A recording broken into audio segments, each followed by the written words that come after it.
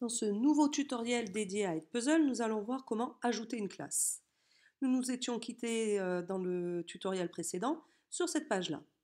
Donc, nous allons cliquer sur Add Class, ajouter une classe.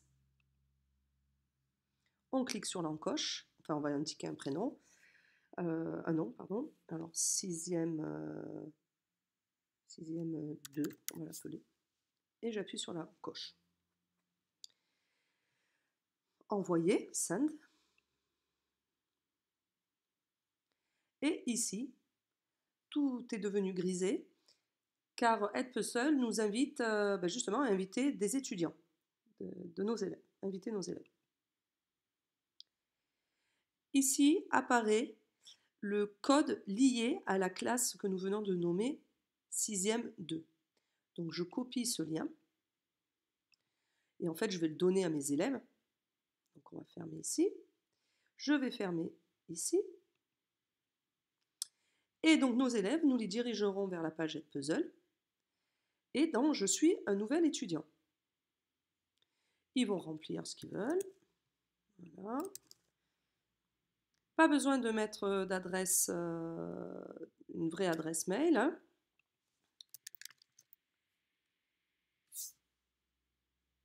Et sign up.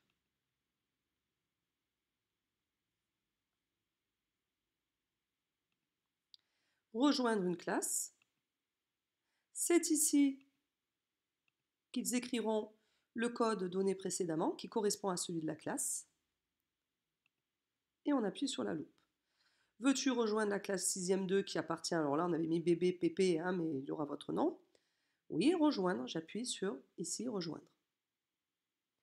Et directement, on voit que la vidéo que vous venez de créer tout à l'heure est dédiée à la classe, elle est assignée à la classe. En appuyant sur Start, l'élève peut commencer à répondre à la question que nous avions intégrée ici et ici le commentaire que nous avions également intégré.